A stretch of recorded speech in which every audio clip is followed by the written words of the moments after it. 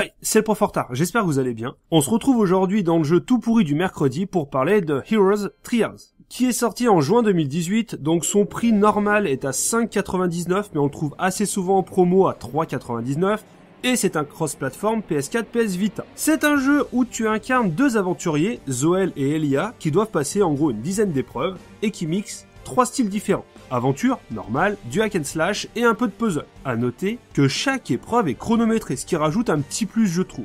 Honnêtement, si on s'y intéressait de un peu plus près, on pourrait dire qu'il y a une certaine ressemblance avec un jeu de Nintendo. Ouais, Zelda quoi. Bon, nous, ce qui nous intéresse, c'est le platine qui s'appelle Platinum Hero, avec un taux d'obtention de 86%, ce qui, est, ce qui est quand même assez élevé. Pour ça, il y a 13 trophées au total, 0 bronze, 1 argent et 11 or. Alors oui, c'est pas beaucoup, mais on est sur un petit jeu, donc c'est pas choquant, et en plus, ils sont tous hors ligne et aucun n'est buggé, donc on va pas se plaindre. Les trophées peuvent se décomposer en trois catégories, outre les trophées cadeaux, genre parler un bonhomme ou tuer un ennemi, cela on les compte pas. hein. Pour commencer, on peut dire qu'il y a trois trophées qui sont directement liés à l'histoire principale, et donc inratables. Ensuite, dans la même veine, c'est lié à l'histoire 1. Vous devrez battre une partie des boss, en l'occurrence 3. Le boss final ne compte pas. Alors c'est dommage d'ailleurs, mais ça rate Laïka. J'ai pu voir que 1 pouvait être manqué. En l'occurrence c'est Potako.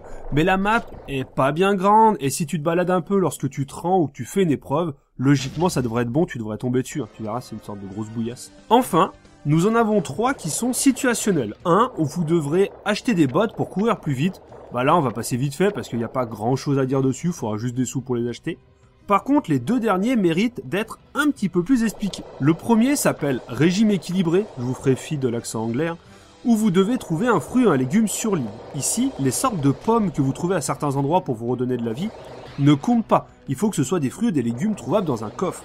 Si je ne dis pas de bêtises, vous en aurez un en plein milieu de votre route à un moment donné. Je sais plus si c'est mission 2 ou mission 3, vous pouvez voir sur le screen. Par contre, je sais qu'il y en a au moins 3 répartis sur la map, mais moi j'en ai trouvé qu'un. Le second trophée s'appelle Vieux héros de Delua, où vous devez interagir avec les statues de Adèle et de Soréon. Lui, il est un peu mesquin parce que l'action demandée n'est pas quelque chose de commun dans le jeu, et il tombe donc pas naturellement.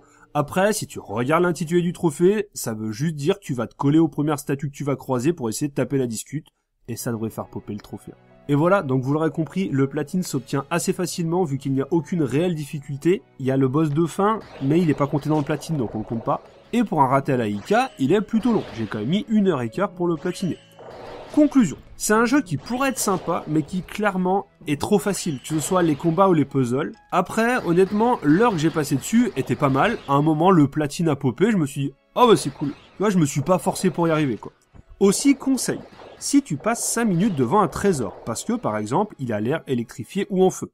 C'est pas un piège, hein. c'est juste que dedans t'as de la magie. Donc tu vas dessus, tu l'ouvres et tu récupères le spell de magie. Ça t'évitera de perdre du temps pour rien comme j'ai pu le faire à essayer de chercher un interrupteur pour le désactiver. Bref, si t'es un chasseur de trophées lambda, pour 3,99 vous prenez pas trop de risques, même si je pense qu'il peut avoir mieux pour ce prix-là.